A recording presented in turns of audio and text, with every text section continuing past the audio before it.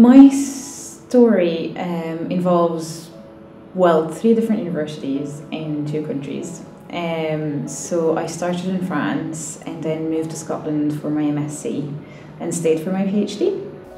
Um, so I am a PhD student. Um, I'm in my first year of studying. I'm about just over nine months in, so it feels like things are in full swing. Um, I'm at the university that I also did my undergrad in. Um, so I did my undergrad. I then worked as a research assistant. I took a little bit of time out um, to go out into practice. Um, I'm a nurse, so I went out for a year and a half and then I returned um, as a PhD student. Change is that the French system is very much based on exams. Um, I had barely written any essays when I arrived here. My essay skills were the ones that I had gained in high school.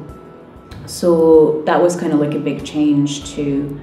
Um, and another one was critical thinking. We were very much pushed and kind of um, moved forward to learn about the changes in the discipline, um, the new additions, the different types of kind of the different perspectives, whilst previously I was pushed to just stick to one perspective and actually see that as the truth and the only truth, whilst it was kind of making the change into being like nothing is true for good.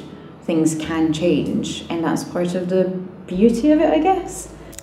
Doing a um, PhD is vastly different from doing an undergrad. Um, I guess as in the undergrad course you um, get a lot of support um, and a lot of encouragement from your lecturers. They're there to remind you when things are due and things need done and you're in regular contact with them as well. So I was in um, Monday to Friday on my undergrad course for lectures and um, when we weren't on placements, so when we were at university.